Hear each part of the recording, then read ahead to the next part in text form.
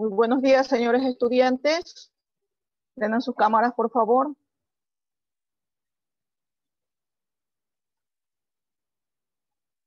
Miss, Jairo, buenos, días. ¿Cómo está? Buenos días. Buenos días, Alison. Miss. Miss, lo que, Miss, lo que pasa es que estoy en el hospital, por eso tengo apagada la cámara. Ya, Kerly. Sí, Kerly. Miss. Ya, mi- Sí, Miss, sí. Ya, está bien. Stephanie, Alison, Daniel, Carlos, Kerly, Alison, Alison Franco, Alison Franco. Voy a poner falta a los que no me contestan en este momento, porque solo se presentan y se van. Prenda la cámara Alison Franco, si no le pongo falta. Alison Franco. Alison Franco. Bien.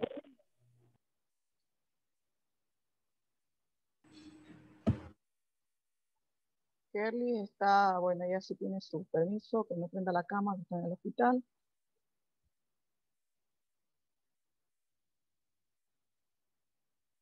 Bien, chicos, al frente para tomarle la foto. Kerly, si pudieras tomar, eh, de- ponerte un poquito en cámara para poder tomar la foto. Gracias, mijita. Ya, Miss. Dos, tres. Bien, gracias. Ahora sí, Kerly, puedes apagar. Buenos días, chicos. Eh, estamos hoy 7 de octubre. Estamos próximos a dar nuestro examen del segundo parcial. eh, pidiendo a Dios Todopoderoso que nos siga dando esa fuerza, ese poder, esa fortaleza para seguir eh, nosotros estar en esta, en esta forma virtual, asistiendo a clases, nosotros también dándoles clases a ustedes, esperando pues que todos vayan a pasar al cuarto, al cuarto semestre, ¿verdad?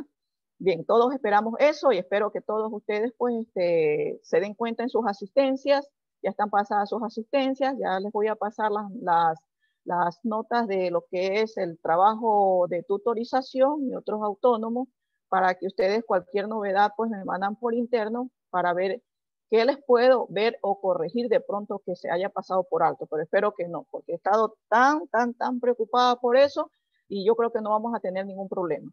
Lo que sí yo les dije que después de, en este parcial, ya no les iba a dar la oportunidad que ustedes presenten sus trabajos atrasados. Eso sí no los iba a permitir, que los presenten de cuántas, unos minutos, una hora de pronto, pero atrasados de que yo tenía eh, en septiembre eh, 26 de presentarle profesora y no le pude presentar, ahora por... No, eso no. Ahí se queda con... ¿Ya? O sea que esa, esa forma estamos trabajando en este semestre, en este, perdón, en este parcial, y espero pues que todo nos vaya bien. Para el día, el, el día miércoles vamos a tener el examen. Eh, todas las preguntas van a estar de acuerdo como, como se les ha dado en clase. Posiblemente algunas están dentro que, de lo que yo doy clases y otras están, la mayoría están en lo que es este, el, ya es la, los, los procesos que hemos hecho dentro del el sílabo, ¿verdad? Entonces, todo está en las diapositivas, ya, ya está abierta la plataforma para que ustedes vayan revisando sus diapositivas y que ya vayan estudiando y familiarizándose con todo lo que hemos dado este, en este segunda unidad, en este, perdón, en este segundo parcial, que es la tercera y la cuarta unidad. Bien, chicos. Entonces, estábamos hablando nosotros de lo que era la, comunicación mediática, la forma como se llevaba su estructura, cuáles eran la, las, las, la, la, forma de que este, los medios de comunicación llegan a las masas, cómo va a llegar este, en realidad el mensaje, cuáles eran sus efectos, qué causa ocasionaba en, los, en las personas cuando escuchamos o vemos una noticia, es cuál es el efecto de la experiencia de, de cuando escuchamos o estamos eh, comentando sobre la noticia. Y entonces todo esto iba a llevar a una configuración dentro de la información para darle un sentido a lo que nosotros estamos escuchando. Esto es lo que nosotros estamos eh, empleando dentro de la comunicación mediática. Y ahora pues vamos a ver lo que son las estrategias de comunicación mediática, cómo, cómo se manipulan los medios de comunicación mediante algunas estrategias que se van siguiendo. Y pues esto de aquí me va a producir en realidad la, la, forma estructurada de lo que son los medios de comunicación, cómo se manipula la información cuál es la forma como nosotros muchas veces estamos viendo una noticia y estamos em, tal vez manteniéndola como algo real, pero esa, esa noticia está manipulada por el medio de acuerdo, como habíamos dicho, de acuerdo al alineamiento que tiene cada medio de comunicación. Y vemos que las estrategias de manipulación de los medios de comunicación o la de la comunicación mediática eh, tienen que ver mucho con la elaboración de la lista de las, de las estrategias. Entonces, eh, quiero que pongan asunto en esto. Quien elaboró, las estrategias de manipulación a través de los medios fue el francés Sylvain Stimson. Entonces, ese es el, el, quien elaboró. Por favor, no se me vayan a equivocar porque de pronto en las preguntas les pongo eso. ¿Quién elaboró la lista de las 10 estrategias de manipulación a través de los medios? Es Sylvain Stimson. Ese es el, el que elaboró, el que socializó en realidad todas estas 10 estrategias que las llevó a darle mayor importancia a los, medios de comunicación de masas es Noam Chomsky. Ese es Noam Chomsky, el que socializó, el que las elaboró fue el francés Sylvain Tinsin. Entonces, por favor, que quede muy claro esto porque de pronto les pongo en las, eh, este, algún, alguna pregunta de estas en los exámenes va a decir, Miss, usted lo puso mal porque en realidad yo lo hice bien. El uno socializó y el otro los elaboró. ¿Estamos claros, por favor? Quiero que me, que me contesten, si estamos claros esto. Entonces, eh, la, la, importancia de esta, sí, ok, muy amable, gracias.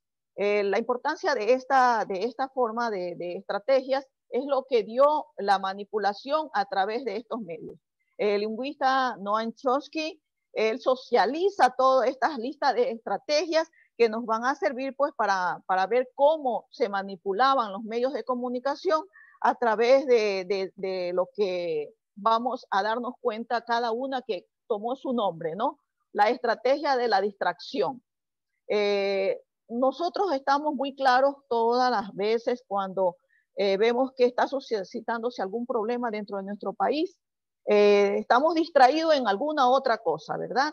Eh, por ejemplo, ahora, en lo que estábamos nosotros, en el momento que se vino la cuarentena con la pandemia, todo el mundo estaba distraído con la noticia, cuántas personas morían, cuántas personas se iban a infectar, cuál era el proceso de, de, que se iban a infectar, cómo entraba el virus al organismo, cómo teníamos que cuidarnos, las precauciones que teníamos que tomar, estábamos distraídos en eso. Pero ¿qué estaba sucediendo con la economía del país? ¿Qué estaba sucediendo con los procesos de corrupción en nuestro país? Eso nosotros no lo sabíamos. Estábamos tan entretenidos en otro, mientras los otros estaban aprovechando de tremendas corrupciones, aprovechándose del pueblo. Entonces, esta estrategia de distracción tiene un elemento primordial del control social porque este, consiste en desviar la atención del público en los problemas importantes que se puedan eh, ocasionar dentro de los cambios decididos dentro de un país. Pueden ser en lo político, en lo económico, mediante la técnica de diluvio se llama, porque nos envían una gran cantidad de informaciones que, nos, que van unas a continuación de otras y por eso le llaman diluvio o inundación, porque nosotros nos llenamos de otro tipo de informaciones, como eran cuando en el tiempo de la pandemia, cuando ya comenzó a bajar ya el problema de, de las muertes, de las infecciones, del cuidado que tomaban las sociedades, entonces ahí ya comenzamos a comprender qué es lo que estaba sucediendo. Aparte de la pandemia, otro proceso estaba bajando la economía del país. Entonces, esto de aquí es lo que esta estrategia se la llamaba estrategia de la distracción. Eh, eh, quiero que vayan comprendiendo parte por parte y si ustedes quieren hacer una pregunta, háganla porque el trabajo de tutorización va a depender de esto. Bien, chicos. Entonces, está comprendido que en realidad es la, la forma de desviar la atención del público en todos los problemas que se están presentando en, en, la ciudad, en el país, en la sociedad, con, eh, para poder que nosotros no nos veamos la importancia que tienen los otros cambios que se están produciendo dentro de un país. En este caso era el proceso de la salud, ¿verdad? Bien, entonces la segunda estrategia donde Noam Chomsky socializaba era crear problemas y después a, ofrecer soluciones. Este método también es llamado problema, reacción, solución. Entonces, de pronto esto vaya a estar en el examen, ¿no? El, eh, ¿Cómo se llama la estrategia ¿no? De, que también es llamado problema, reacción, solución, y le pongo varias estrategias ahí, de pronto ustedes ya saben que se llama crear problemas y después ofrecer soluciones. Bien, cuando se habla de, este método, eh, crear problema, reacción, solución, se crea un problema, una solución prevista y por ende va a causar siempre cierta reacción del público. Y esta reacción del público va con el fin que se va a mandar las medidas que se desea aceptar, que quiere que uno lo acepte. Entonces, se hace el problema y luego después se crean soluciones. Eh, crear una crisis económica, por ejemplo, para hacer aceptar a, todos nosotros que se comience a intensificar eh, un mal necesario y luego el, retroceso de estos derechos humanos o sociales van a desmantelar pues los servicios públicos. Entonces, ¿cómo vamos a, nosotros a manejar esto? Ejemplo, vamos a dejar eh, que se desenvuelva o se intensifique la violencia urbana. Se deja el problema, organizamos atentados sangrientos de, todo lo que tenga que ver con el problema de, la violencia y luego el, público va a tener este, sus leyes. Dice, bueno, si hay violencia, tienen que ponerse sus leyes. Las leyes, las de, se demandan las leyes y luego pues este, viene la seguridad, ¿verdad? La seguridad del país y las políticas en perjuicio también van a ser de la libertad de ellos. Entonces, están creando el problema, eh, el gobierno pone la seguridad, está ofreciendo soluciones inmediatamente, ¿verdad? Después que sí, que se va a subir el, este del gas, que se va a subir el precio del gas, que ya no va a haber este, las, las, consideraciones de las personas de, mayores de edad o las personas que, de adultas mayores ya no van a tener el beneficio de tener bajas sus eh, planillas de luz, no se va a considerar esto, entonces va a haber una reacción del pueblo, se, se arma el problema. Y la solución, para hacerse buenito, la parte contraria, la del gobierno, no, es que esto de aquí se va a estar a considerar pero se van a ir manteniendo pues estas, estas leyes y poco a poco se les va a ir este, haciendo la, debida, el debido descuento de lo que se le cobró de más. Por ejemplo, lo que sucedió ahora en el tiempo de la pandemia. Todo el mundo se quejaba que las planillas de luz le salían bastante elevadas y tras que estábamos en una economía bastante baja, la gente no podía trabajar, muchos salieron de las empresas. Entonces, ¿cuál fue después la, la solución?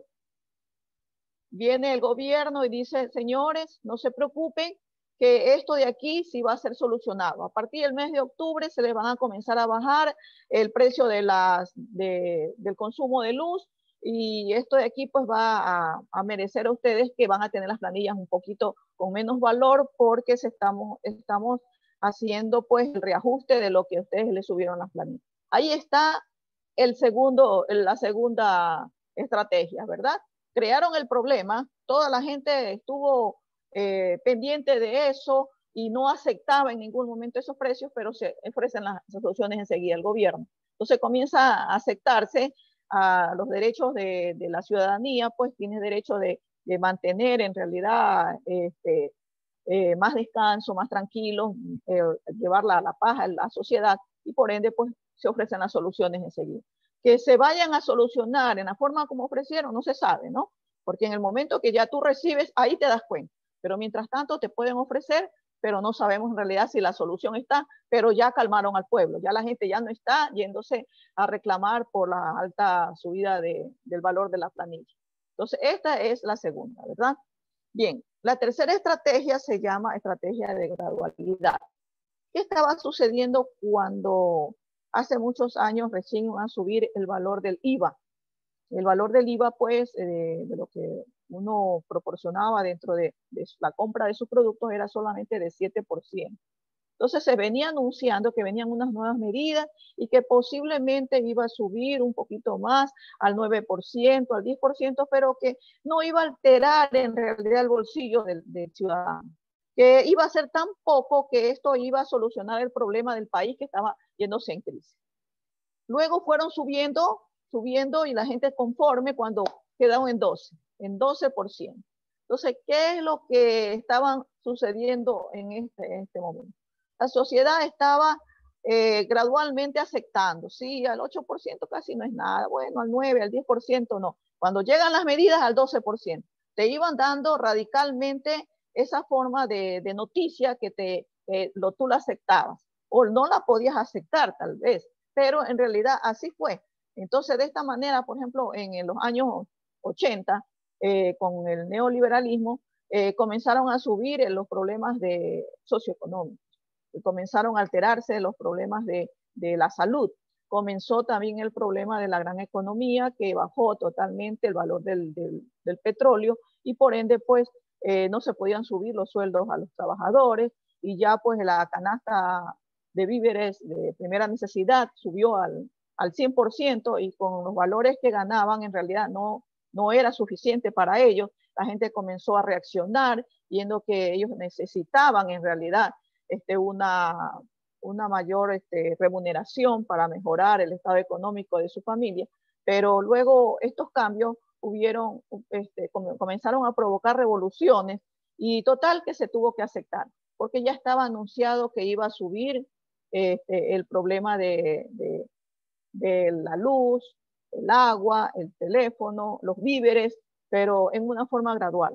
Esto es la estrategia de gradualidad. Te están metiendo poco a poco la noticia que tú la vas aceptando, la vas aceptando y llega un momento que como te acostumbraste ya a esa aceptación, ya se quedó la estrategia, ya este, comenzó la, la medida a, a, quedarse ya su tope, donde ya no, tienes, ya no puedes hacer nada. Entonces, esa sería la tercera estrategia. Vamos a la cuarta estrategia, en donde nosotros nos estamos dando cuenta que es la estrategia de diferir, que es otra manera de aceptar una decisión impopular. También se la puede presentar como dolorosa o innecesaria, donde vamos a obtener pues eh, en, en, todo momento una aplicación futura eh, sobre la obtención de aceptación pública porque la estrategia de diferir, pues, es más fácil aceptar un sacrificio futuro que un, un sacrificio que se lo, nos viene de primera, ¿no? Eh, no es empleado inmediatamente, pero sí va a ser empleado en algún momento. Porque el público, la masa, siempre tiene la tendencia ingenua de decir, bueno, pues todo irá a mejorar mañana.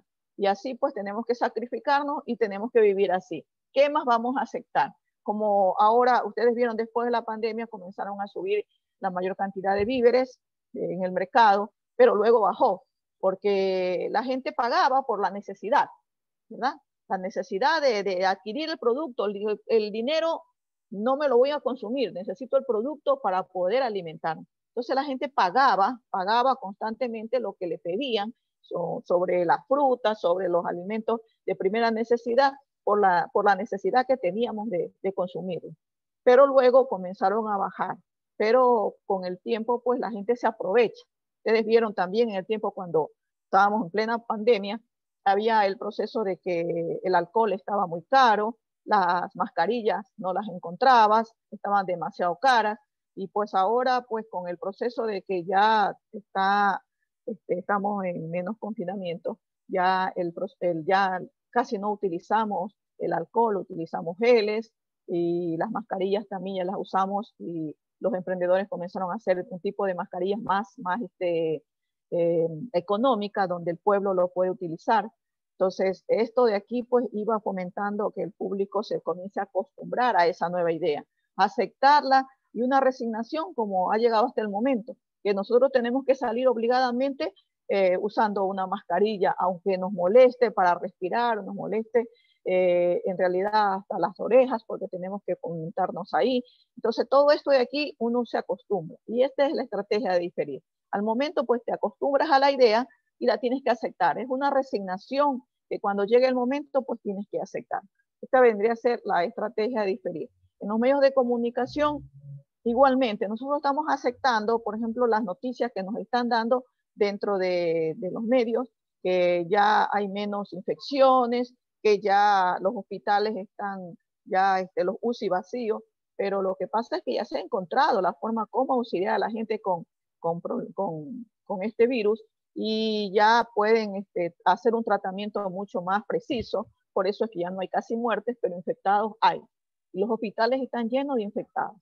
Entonces, ya nos estamos acostumbrando a esto de que ah, ya el virus ya no existe, ya puedo salir sin mascarilla, ya no se ven muchos muertos, pero en realidad nos estamos acostumbrando a que nos enfermamos de, de COVID, la gente dice, me enfermé de COVID, pero me salvé.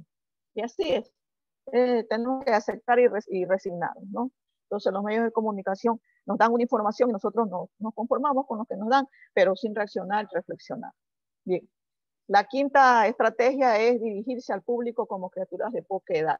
En realidad siempre yo me reía esto porque nosotros cuando hablamos eh, en cuestiones de medios de comunicación, la publicidad siempre interviene inculcando, influyendo en los niños. Ustedes se dan cuenta que para Navidad, para fin de año, para mantener una leche o, un alimento que quieren este, promocionar dentro de la publicidad, meten al niño siempre. Y van a influir mucho en el niño, el niño pide a sus padres para que le compren. Entonces nosotros como espectador pues estamos siempre engañados, ¿no? Porque el niño pues este, es la debilidad propia de nuestra sociedad. Y nosotros pues este, tenemos que aceptar muchas veces con este proceso de, de, los discursos de estos personajes infantiles que nos presentan.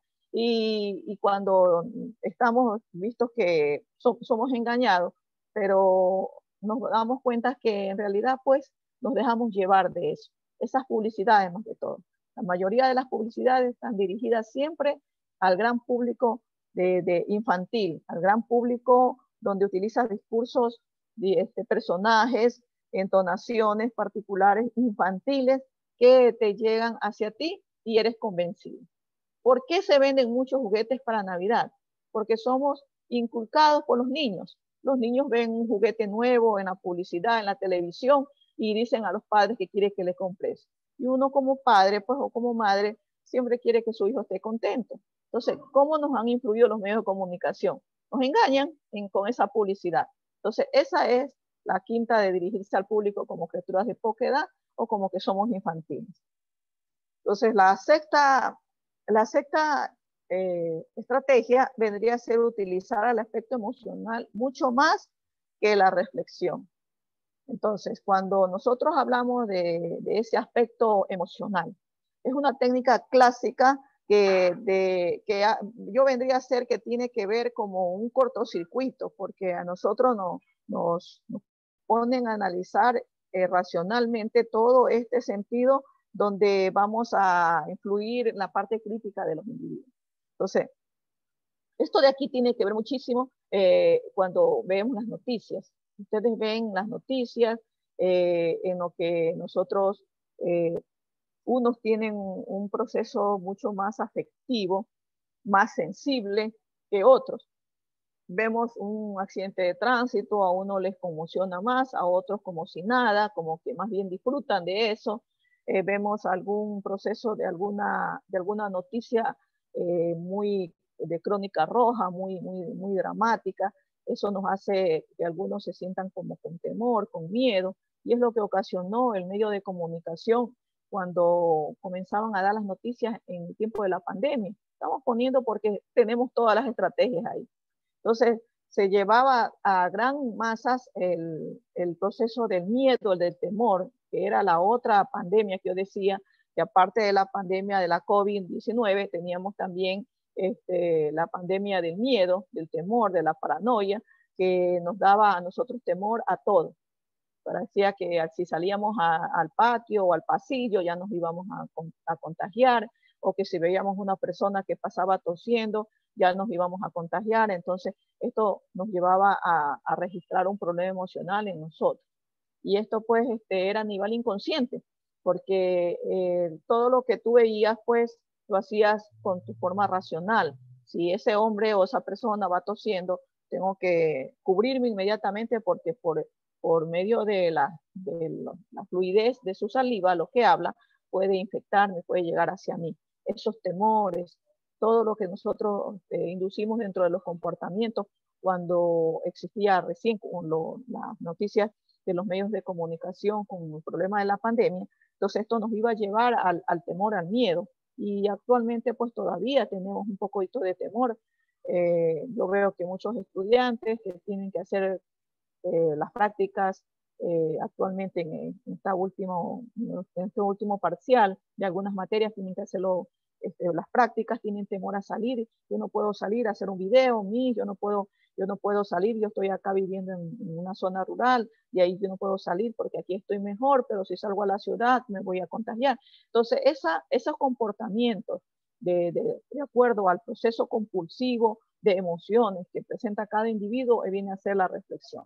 Por eso, pues, este, esta estrategia eh, dice que los medios de utilizar el aspecto emocional mucho más que la reflexión en los medios de comunicación. Y eso todo lo vemos en, los medios de comunicación, en las redes sociales, en, todo lo, que nosotros leemos, en todo lo que nosotros vemos y lo que estamos palpando dentro de, este tiempo que estamos todavía en pandemia. Eh, con la séptima eh, estrategia, pues se va a mantener al público en ignorancia y la mediocridad. Claro, claro que sí. Hacer que el público sea incapaz de comprender las tecnologías y los métodos utilizados hacen que pierdan su control y o seamos esclavos, como actualmente, ¿no? Eh, estamos esclavos nosotros a la, a la tecnología. Sin la tecnología nosotros no podemos trabajar, sin la tecnología no podemos pedir eh, un, un, alimento por, por el internet, porque eso de ahí pues hace que nosotros mantengamos esa forma de estructura. Entonces, si nosotros no nos actualizamos, posiblemente no estuviésemos en este momento en clases, no estuviésemos en este momento este, recibiendo eh, las instrucciones dentro de un examen, de una, de una asignatura, y por ende, pues no nos hubiese ayudado en este, en este aspecto. Si, si en realidad los medios de comunicación quieren mantener que nosotros seamos este, personas eh, mediocres de pronto o que seamos clases sociales muy inferiores con calidad de educación baja, en donde vamos a tener, vamos a estar siempre ignorando lo que existe en realidad. A veces, pues, este, ustedes compran un celular y el celular no le dicen este, las indicaciones que nomás puede usted sacar con su celular usted va descubriendo poco a poco, porque a usted no le mandan esa información. Lo que hace es comprar su celular y ven qué es lo que tiene y ahí se queda. Muchas veces tiene seis, siete meses con su celular y recién descubre que tiene otra aplicación que puede también utilizarlo donde lo desconocía. Entonces, eso es lo que hacen los medios de comunicación, mantener siempre al público en la ignorancia y la mediocridad. Bien, entonces vamos a pasar al, noveno, al, al octavo, perdón, para estimular este, al público a ser complaciente con la mediocridad. Entonces, promover al público a creer que es moda, es el hecho de estar eh, involucrado en, en, algo vulgar o inculto, pues los medios de comunicación, ¿qué es lo que hacen? Eh, muchas veces eh, nosotros somos, somos complacientes con la, con la información que recibimos, pero no investigamos, sino que quedamos ahí eh, sin responder a eso o como una noticia más y se quedó, pero nosotros no investigamos a ciencia cierta qué está sucediendo. Si fuésemos investigadores, de pronto supiésemos cuáles son las otras formas de estructura para poder eh, seguir adelante en los estudios de, virtuales, cómo puedo yo hacer este, una, una investigación eh, en Internet para mejorar el proceso de estudio, del proceso de, de, investigación dentro de un trabajo autónomo. Si fuera más investigador, de pronto eh, viera que en, el Internet, en las páginas web, te, motivaran con ciertas técnicas que te sirvan para hacer la, las investigaciones dentro de tu trabajo autónomo. Entonces, esto de aquí nos involucra muchísimo porque eh, eh, los medios de comunicación son así. O sea, tú uh, haces una, una información y con eso te quedas. No, no, no produce el intento o, o, el énfasis o la forma de impulsar a que nosotros sigamos investigando sobre la información que hemos visto. Tenemos la, la novena estrategia, es reforzar la autoculpabilidad. Cuando nosotros hablamos de esta reforzar la autoculpabilidad, eh, estamos viendo que creer al individuo que es solamente él el culpable, que él solamente es el, el que lleva la, en este caso, la desgracia por la causa de insuficiencia en su inteligencia o su capacidad. Muchas veces los medios de comunicación piensan que la información que sacan es eh, para una persona que en realidad eh, no tiene buena educación o no tiene una inteligencia como para poder nosotros analizar el proceso y también tener nuestro criterio, porque a eso te involucran los medios de comunicación, ¿no? Que lo conozcas, conozcas la, la noticia, pero que tú no tengas ese criterio de crítica, de análisis acerca de eso. Entonces, así pues, en lugar de rebelarse contra el sistema económico, por ejemplo, en el individuo se, se autodesvalida y se, y se culpa porque lo que genera un estado es depresivo, porque en este tiempo de pandemia, por ejemplo, ¿cuántos trabajadores no se sacaron de, sus trabajos y las familias estaban totalmente un poco, este, estaban un poco preocupados porque en realidad, ¿qué le llevo a los hijos? A mis hijos, ¿qué les, ¿cómo les doy la educación? ¿Cómo les doy de comer? ¿Cómo los visto? Si ya me sacaron del trabajo. Entonces, esta gente va entrando en un estado de depresión en donde cuyos efectos pues iban a ser una inhibición de su acción en el accionar dentro de una sociedad. Y esto pues este, la verdad que en, en, realidad conmovió muchísimo y sigue conmoviendo a muchas familias que fueron sacadas de, su, de, sus, de sus trabajos y esto pues hicieron que en realidad entren en un estado de depresión. Y hace poco vi una noticia de una, de una pobre mujer que porque en realidad eh, no encuentra trabajo o está en, en, decadencia su hogar, quiso suicidarse y eso que lo lleva al estado depresivo. Toda persona que, que mantiene un problema de tipo, eh, de tipo nervioso eh, por el sistema económico que está viviendo, esto hace que el individuo pues pierda como, como que se hace autoculpable de él y luego se va a culpar para entrar a un estado depresivo. Y esto es lo que está ocasionando en realidad la crisis económica que pasamos, estamos pasando en esta gran pandemia de lo que es el, el COVID-19. Bien. Y, y, la décima, eh, vamos a hacer conocer a los individuos mejor que los que ellos mismos no conocen. Entonces, eh, en el transcurso de los años 50 aproximadamente, los avances de la ciencia habían generado una creciente forma de conocimiento, en, en, la, existiendo así una brecha dentro de lo que era la, la ciencia, eh, entre los conocimientos del público y el conocimiento que se estaba presentando en una sociedad. Pero gracias a muchas ciencias que se vieron como era la biología, se vio también la neurología, la neurobiología y todas estas ciencias que iban aplicadas a todos los problemas predispuestos a la parte psicológica, que es lo que más se afecta en el individuo. Eh, esto iba pues este, en realidad mejorando el proceso porque ya se sabían cómo actuar dentro de estas, de, este, de estas personas que presentaban estos problemas. Entonces, eh, en realidad, el control de los casos, que en, en, vamos a hablar sobre la pandemia, el control de los casos neuríticos que se presentaban era bastante mayor porque se sabía ya eh, el problema y la causa.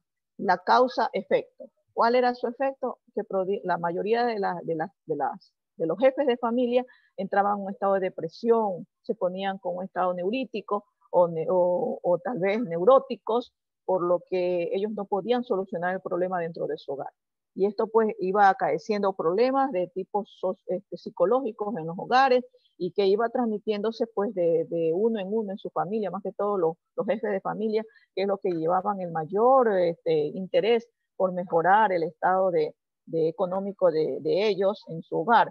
Y vimos también muchas formas cómo se podía imaginar este, el, el jefe de hogar que salía a su trabajo y no, no, no sabía qué es lo que sucedía en su hogar en sí.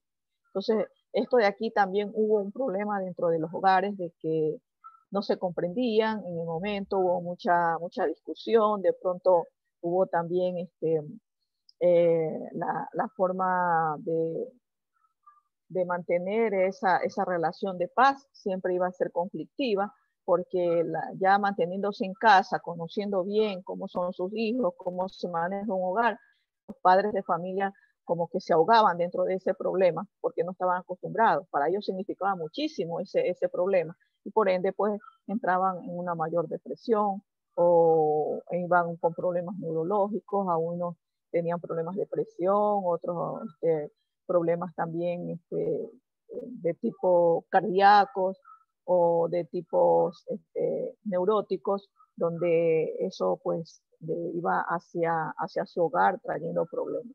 Entonces, esta, esta nueva estrategia, esta décima estrategia, tiene que ver muchísima con la parte de, la parte emocional del individuo, cómo actuamos con esa, esa, esa forma de, de, más que todo de opresión de las élites dominantes hacia las partes más este, públicos eh, de obrera, donde ellos pues estaban a la expensa de que su jefe les dé su trabajo o que su jefe le pueda, le pueda subir el sueldo. Y más bien esto ocasionó problemas porque en las empresas que ya estaban este, consintiendo nuevamente a sus obreros, le dijeron pues vamos a bajarle más bien el sueldo. Estamos pasando con una gran crisis, pero vamos a bajar el sueldo. Si quieres seguir trabajando, lo vas, este, lo, vas a aceptar y si no, pues tienes que salir.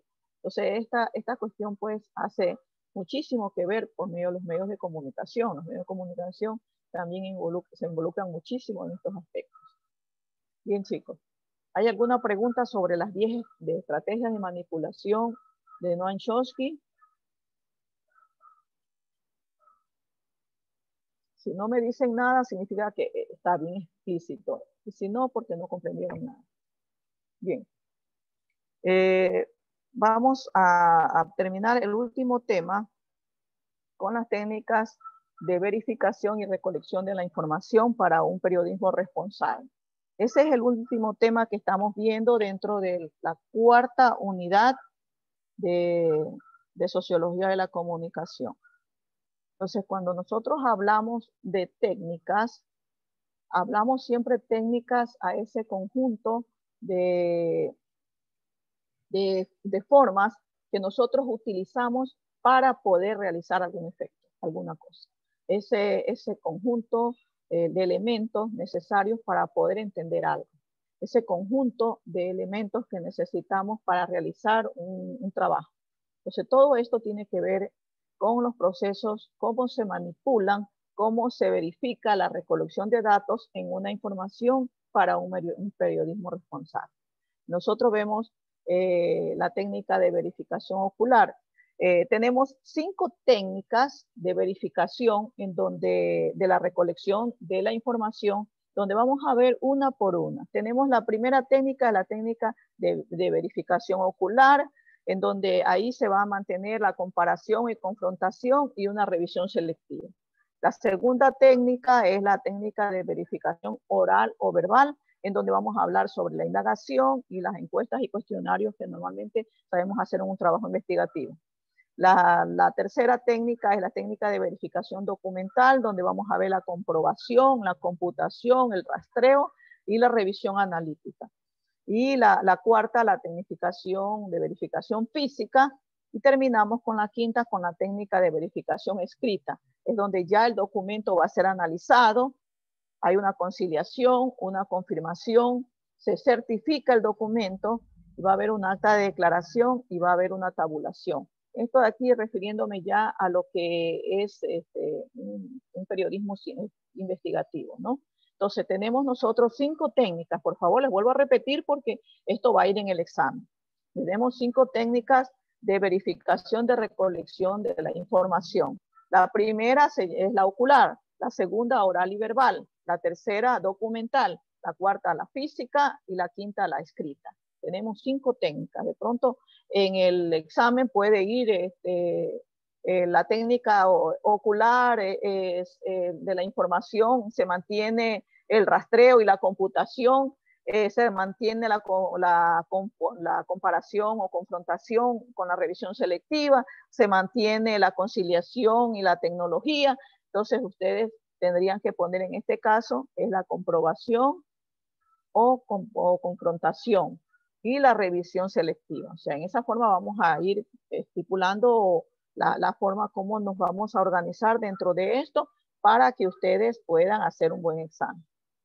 Por eso, interrumpan si tienen, si tienen alguna pregunta, por favor, porque de aquí en estos últimos temas iban a ir este, temas para el examen. Ya, entonces, cuando hablamos de la técnica, sí, ¿alguien me va a hablar? Sí, buenos días. Eh, ¿Puede volver a repetir esa partecita? El audio de mi compu se estaba trancando. Bien. Por favor. Eh, ya, bien. Entonces, dentro de las técnicas de verificación, eh, de recolección de la información, vamos a mantener cinco técnicas donde nosotros podemos realizar este, la, un periodismo responsable, que sería ya para el periodista, ¿verdad? Entonces, la primera técnica es la de verificación ocular. La, la, la segunda técnica sería la técnica oral o verbal. La tercera sería la técnica documental. La cuarta, la técnica de verificación física. Y la quinta sería la verificación escrita. Entonces tenemos la ocular, la oral, la documental, la física y la escrita. Son cinco técnicas de verificación para una buena información dentro de un periodismo responsable. Bien, entonces dentro de la técnica de verificación ocular, nosotros vamos a ver dos aspectos principales. La comparación y la confrontación, que pues, es el primer aspecto, y la segunda es la revisión selectiva. Es decir, nosotros vamos a, seleccionar en realidad el documento que lo vamos a verificar para ver si está bien hecho, ¿no? Cuando estamos hablando de la técnica de verificación oral o escrita, estamos hablando de una indagación, o sea, una investigación, una encuesta y un cuestionario. Entonces, esos son los subelementos, vendríamos a ser de esta técnica. Y ahí con la técnica de verificación documental estamos hablando de la comprobación de este documento, la computación, el rastreo y la revisión analítica. Estos son los subelementos de la documental. Dentro de la técnica de verificación física, pues no tenemos elemento porque hablar físicamente estamos viendo el documento, no necesitamos más, más elementos como para poder hablar más de esta técnica de, verificación escrita, ¿verdad? Y con la técnica de verificación, eh, eh, perdón, la física, con la escrita sí vamos a tener un proceso de, conformación. Vamos a tener más este, elementos que nos van a ayudar a verificar si el elemento está bien escrito o no. entre eso tenemos el análisis. Lo analizamos el documento, viene la conciliación, en donde nosotros estamos viendo si ese análisis está bien estructurado o no. Luego viene la confirmación, ya una vez que ya está estructurado, está confirmado, lo certificamos que ese documento es el que va a ir dentro de la noticia porque ya está editado, está analizado, está verificado viene la, el acta de declaración, quién lo hizo, ¿verdad? Y la tabulación. ¿Cuántos de estos, de estos procesos tenemos parecidos en los medios de comunicación? Y entonces, estas son las técnicas de verificación dentro de la información. Bien, entonces vamos a ir explicando uno por uno para poder este, entenderlo mejor. Las técnicas de verificación ocular estamos este, hablando de una entidad, de, estamos hablando del medio, ¿verdad? De un medio donde se está, se está haciendo una edición de un medio.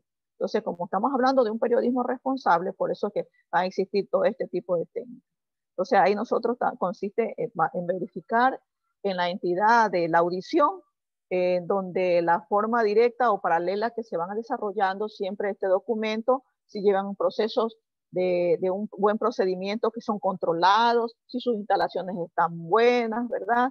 Eh, sobre todo este, en los movimientos diarios que nosotros damos por todos los medios, porque al editar un, producto dentro del, medio de comunicación, tienen que pasar por varias técnicas para que haya una responsabilidad dentro del medio. De caso contrario, pues entonces el medio eh, no está cumpliendo con las leyes de comunicación. Entonces, por eso van a pasar por siempre, siempre por estas técnicas en donde aparentemente las estamos viendo así, pero son rápidas, ¿no? Son rápidas.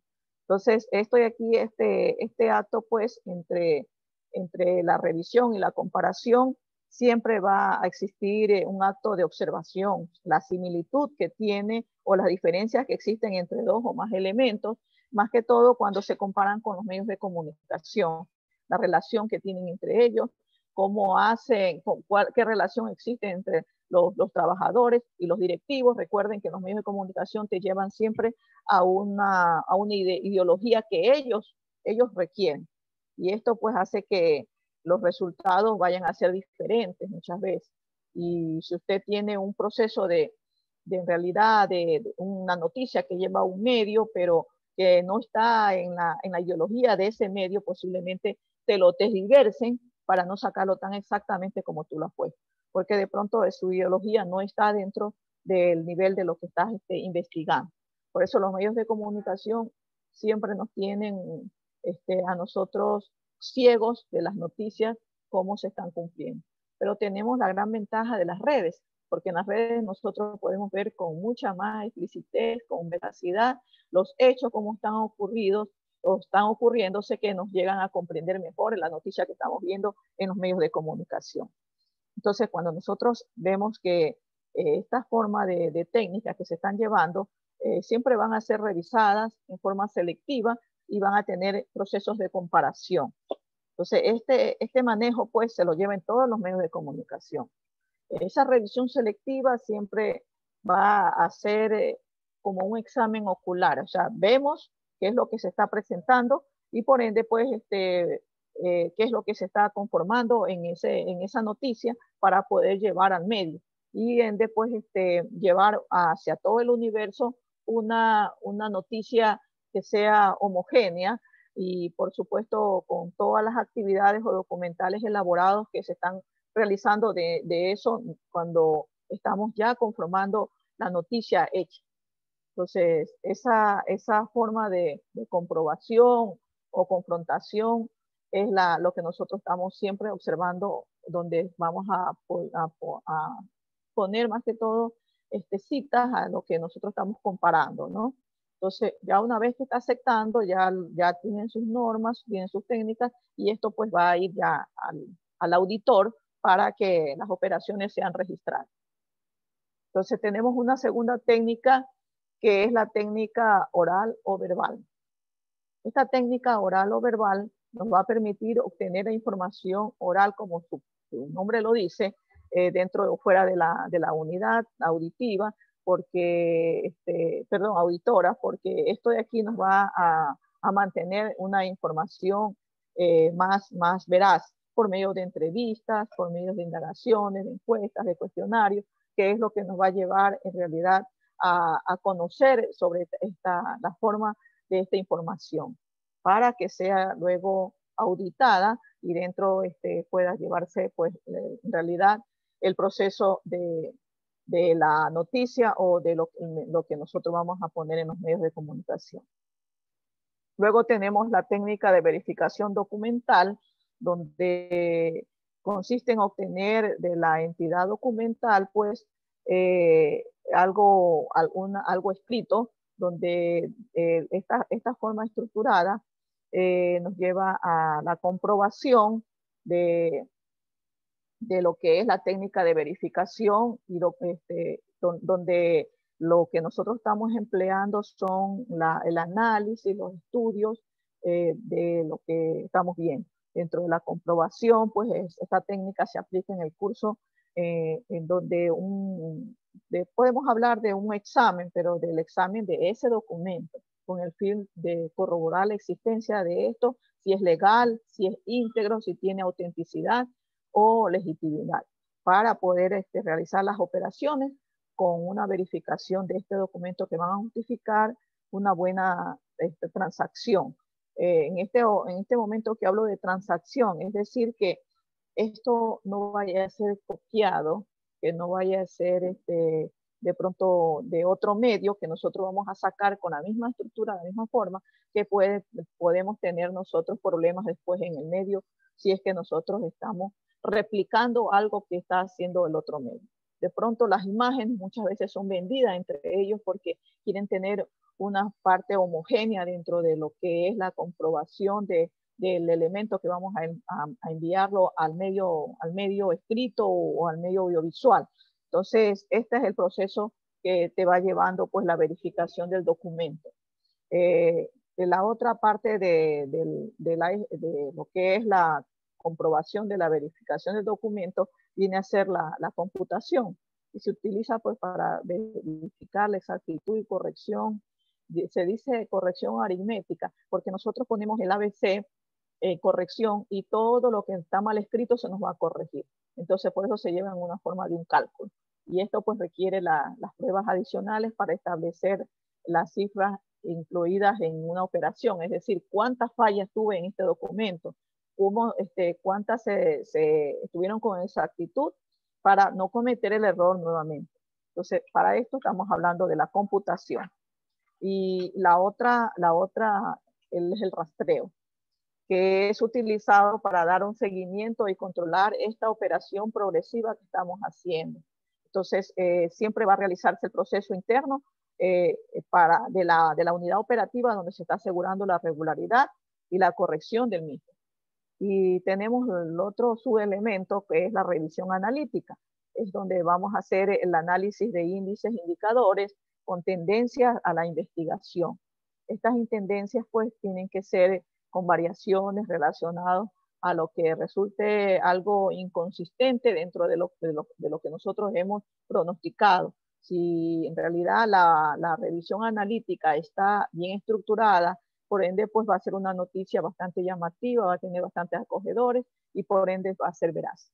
Bien, la cuarta técnica se llama la técnica de verificación física, en donde vamos a reconocer en realidad el, el producto, vamos a reconocer, vamos este, a ver el hecho, las situaciones dadas en el tiempo y se van a emplear las técnicas de inspección. Por, ende, pues si son físicas, vamos nosotros a mantener el, el documento físicamente y lo vamos a inspeccionar a ver si eh, los recursos que se utilizaron eh, estuvieron bien documentados con una forma muy minuciosa porque en realidad eh, determinamos así la existencia y autenticidad de cada uno de ellos. Este activo pues lleva una operación registrada y contabilizada a, a, presentarse en todos los estados financieros de entidad. Ustedes ven que cuando nos mandan una noticia con, de, del gobierno, esto tiene que ser bien estipulado, netamente controlado con las técnicas, todas las técnicas de ese periodismo responsable para no caer en el error que de pronto pues este, pueden ocasionar problemas a nivel del medio, porque el medio que estaba dando la noticia debe de, proporcionar algo real, algo que ha investigado netamente y que hace, ha llevado todas las, las los instrumentos de, de inspección hacia ese, ese documento que va a ser transmitido a una sociedad grande, a una población, a un país. Y esto pues este, lo hacen siempre los periodistas de, los gobiernos, en donde tienen que trabajar mucho con los estados. Bien. Y por último, vamos a ver la técnica de verificación escrita, que se va a fundamentar en reflejar esa información importante para el trabajo del auditor. Cuando estamos obteniendo de esto, pues lo vemos que se van a fundamentar en, en diferentes formas. Primero va a haber un análisis, luego va, este análisis va a recopilar y manipular toda la información el, que permite identificar y clasificarse para volver a hacer otro análisis después. Luego va a haber este, la conciliación, que implica también los dos conjuntos de datos que se van a relacionar por separados, independientes, para esa información que están producidas en diferentes unidades. Eh, luego, pues, van, van a dar la validez, van a, a dar también eh, la, eh, la veracidad, la idoneidad, y por ende, pues, se van a registrar todos estos resultados que nos van a llevar a ser evaluados. Entonces, esta conciliación es donde evalúa el documento para que ya se emita.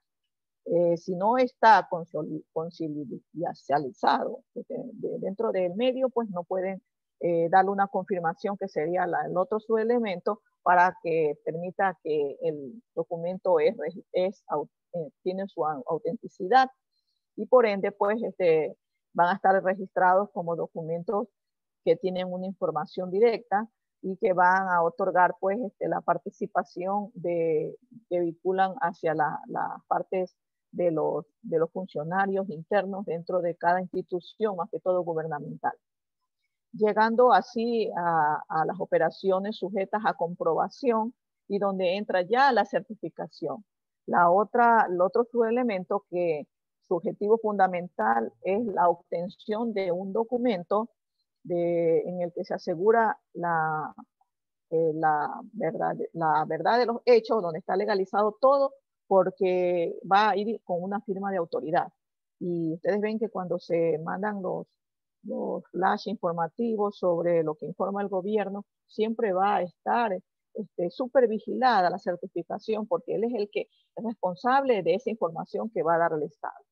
Entonces, ese medio de comunicación, el, periodista responsable de esto, pues tiene que ponerse sus cinco sentidos en este caso para hacer que la certificación que el, el la autoridad máxima te firma es, el, es óptima y por ende, pues, él es el que se está responsabilizando.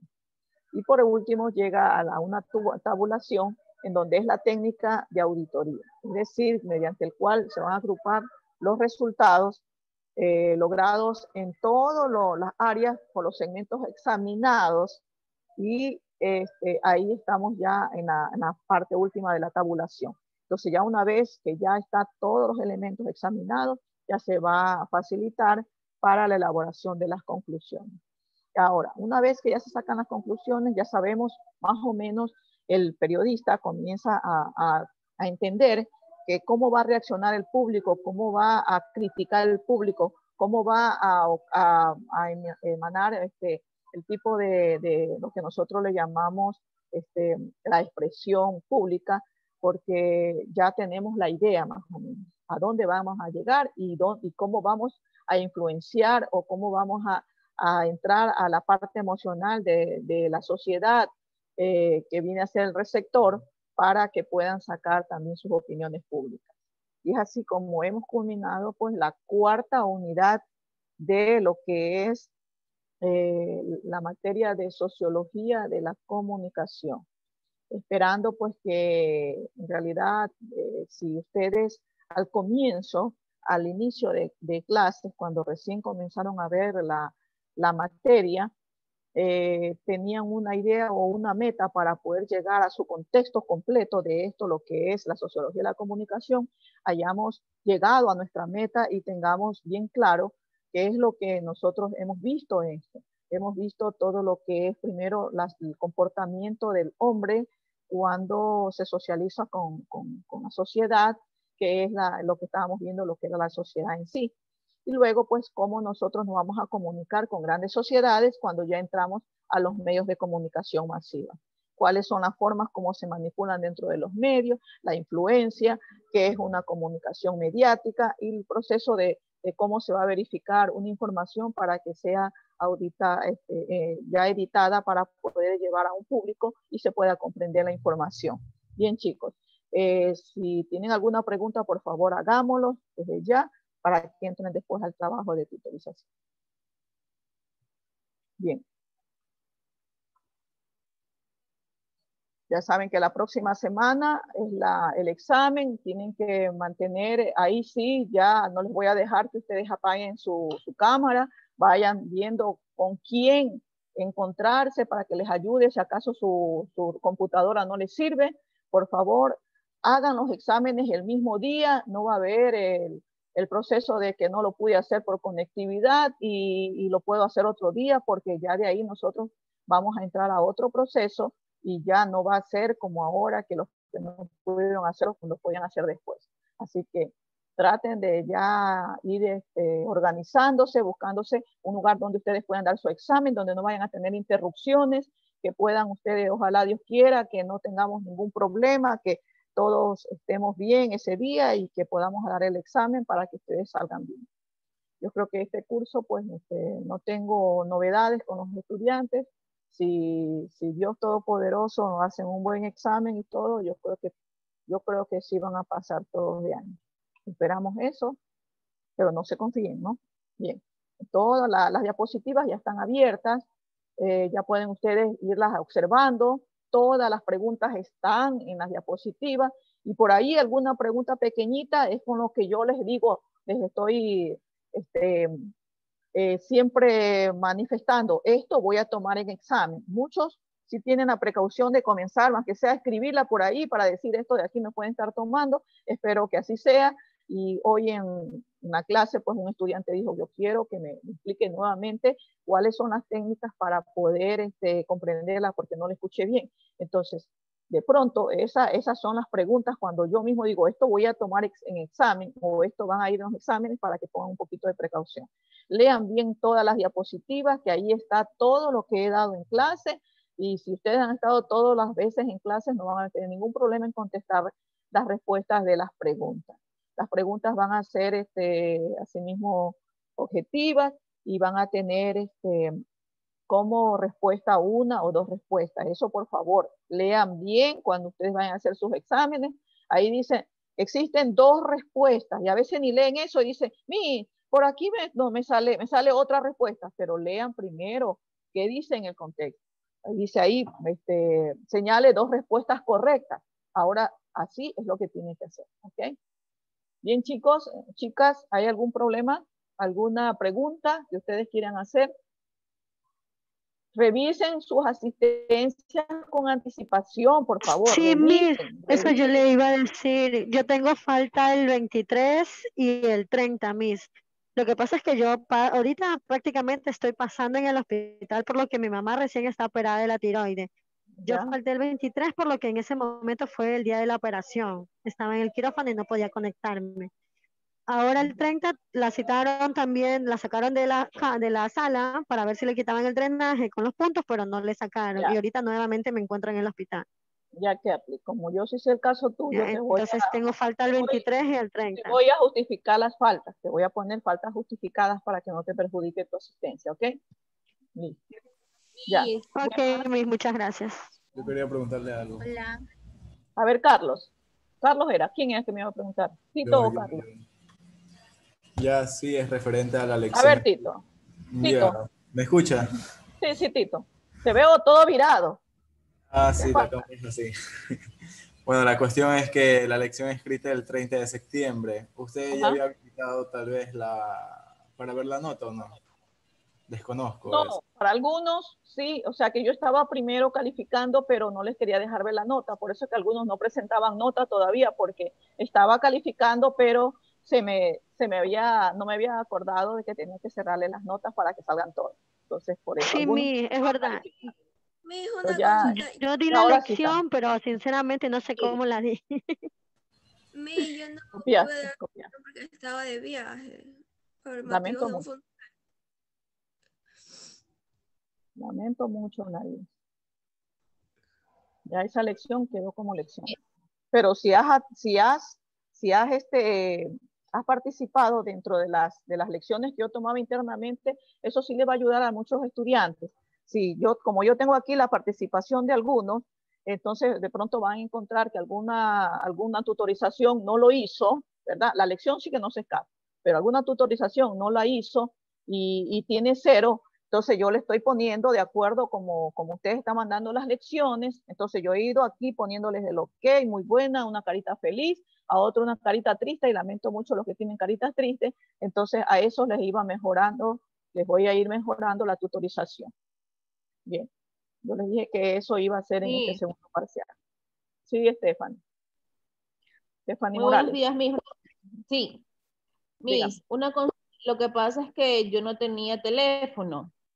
Entonces, yo no me había enterado sobre lo de la encuesta que había que hacer y yo no la realicé.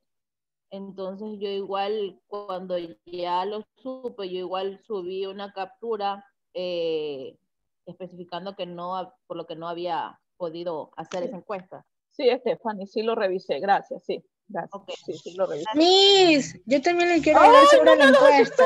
no me hagas asustar, Chirle. Me pegaste ok, está bien. Dios mío, me asusté. Es que, es que por el momento yo no tengo teléfono. Es una, es una, una broma, sigue Chirle. Yo no tengo teléfono, pero yo ese día sí vi el mensaje de la que había que hacer la, encuesta, y todo. Yo la hice el mismo sábado y yo le tomé la foto pero como yo no tengo teléfono, yo no puedo subir la foto, no, no he podido subirla. No has podido subir. No, pero yo sí tengo la foto, pero en el teléfono dañado. ¿Y ahora? No puedo saber si lo hiciste o no lo hiciste. Pero en estos días ya lo voy a arreglar. Creo que hoy ya me lo dan. Ya, envíalo, envíalo. puedo subir atrasada? Claro, súbelo, súbelo, súbelo. Miss, no hay ningún problema. Carlos, dígame. Buenos días. Carlos. Este, no hay ningún problema si el capture de pantalla a este, de, la encuesta haya sido por computadora. Porque no, no importa. Ah, ya, ya, no importa, no importa, lo importante es que lo haya subido. A ver, jóvenes, otra cosa, como estoy viéndolo a, a Carlos con una foto toda virada, estudiante que no haya cambiado su imagen en perfil, créanme lo que les voy a bajar un punto en el examen. Porque ya les vengo diciendo durante todo el parcial que suban este, una imagen de ustedes, así como se la ve a Francesca, así como se la ve a Estefan, como se lo ve a Carlos, así como la veo a Mirella. Entonces tienen que este, quiero verlos así, que así pide el CEDIA, que se los vea a ustedes, no con esas caras, este, con eso, esas fotos de artistas o, o, de pronto solamente se le ve medio cuerpo, no se le ve la cara, que se les vea la cara para poderlos conocer bien. Entonces, yo les voy a bajar puntos, sinceramente. Voy a bajarle un punto en el examen si ustedes no cambian esa imagen. Tienen que cambiar las imágenes que tienen ustedes en, en su plataforma ahora van a ser mucho más revisados. Tenemos nosotros una, una forma de que tenemos que comunicarles a ustedes y yo ya les he venido comunicando. Entonces, no quiero que llamen la atención por esas imágenes que ustedes tienen ahí. Si, me, si llaman la atención por las imágenes de perfil, a, los estudiantes que tienen mala imagen, yo les voy a bajar puntos. Por favor, cambien, tienen mucho tiempo, cambien, díganle que les tomen una foto con su celular si ustedes son tecnológicos. Ustedes saben más que mí, yo recién estoy en pañales, ustedes ya pues son mis maestros, pero sin embargo no hacen un buen trabajo. Así que pongan por favor una, una foto que se los vea bien, bien chicos. Entonces, por favor, enciendan sus cámaras que les voy a tomar la foto para tener... Tutorización.